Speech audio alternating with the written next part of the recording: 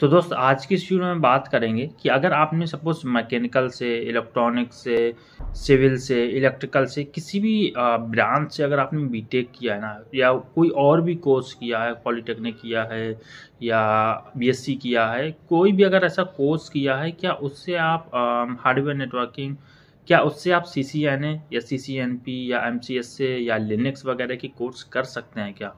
मैं उसी के बारे में आज डिस्कस करूँगा। तो दोस्त, मैं आपको बता देना चाहता हूँ कि आपने चाहे मैकेनिकल से किया हो, चाहे सिविल से किया हो कंपनीज़ ओपन सोर्स हैं, अगर आप किसी से भी करके जाते हो, कंपनी को कोई प्रॉब्लम नहीं होती है।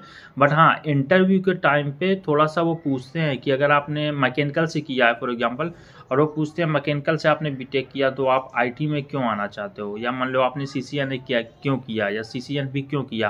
तो ये थोड़ा सा एक क्वेश्चन वहाँ पे बनता है। तो आपको करना क्या है कि जो एच हो वहाँ पे ना, आप, आपके पास कुछ ऐसा सॉलिड पॉइंट होना चाहिए उस उस पॉइंट को कवर करने के लिए। मान लो उसने कंपनी को इंटरनली कोई प्रॉब्लम होती है बहुत सारे आज ऐसे ऐसे कैंडिडेट हैं जो मैकेनिकल से आईटी में कर रहे हैं सॉफ्टवेयर में कर रहे हैं या पावर बी टूल होता है उसमें कर रहे हैं। तो मतलब बहुत सारे ऐसे रिसोर्स होते हैं जिससे आप कर सकते हो। बट तो ये कोई ज़रूरी नहीं होता। बेसिकली क्या है कि उनका काम होना चाहिए और इंटरव्यू के टाइम आपको इंटरव्यू निकालना होगा। बस इतना सा काम है।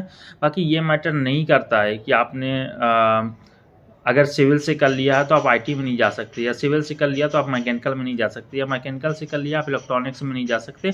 तो इस तरीके का वहाँ पे कंपनी में कोई फंडामेंटल नहीं है, कोई रूल नहीं है, बस उस पॉइंट को आपको एक कवर करना पड़ेगा इंटरव्यू के टाइम पे कि ऐसी ऐसी बात होगी तो इस वजह से मैंने मैकेनिकल किया और मैं आईटी में मेरा इंटरेस्ट था, मैं उसमें जाना चाहता हूँ।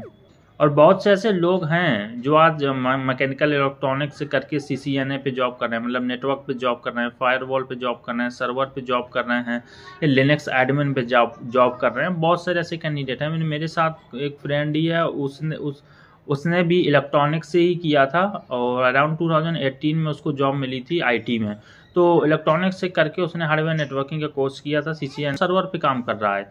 मैटर नहीं करता कि आपने बीटेक या कोई सा भी ग्रेजुएशन हो, आपने किस फ़ील्ड में किया है, आपको आता क्या है? That is the point that is the matter for the company but आपका ग्रेजुएशन मैटर नहीं करता। बस ये है कि उनके मैंडेटरी क्वालिफिकेशंस होती हैं, जैसे कि आपका ग्रेजुएशन होना चाहिए, या कई कंपनी बोलती है पोस्ट ग्रेजुएशन होना चाहिए या इंटर पास आउट होना चाहिए। तो ये चीज़ें आपको वहाँ पे दिखानी पड़ती हैं तो वो हो जाता है। नो मैटर कि आपने किससे किया है? तो आप बेधड़क जाओ सी सी एन ए करो सी सी एन पी करो एम सी एस ए करो इस सॉफ्टवेयर में जाओ जिस बस मेरे दोस्त आज की वीडियो में इतना ही। वीडियो अगर अच्छा लगा तो लाइक शेयर एंड चैनल को सब्सक्राइब ज़रूर करें। मेरा नाम है शुभम मैं मिलता हूँ अपने नेक्स्ट वीडियो में। Till then, have a great moment and don't forget to like share and subscribe thank you so much for coming here.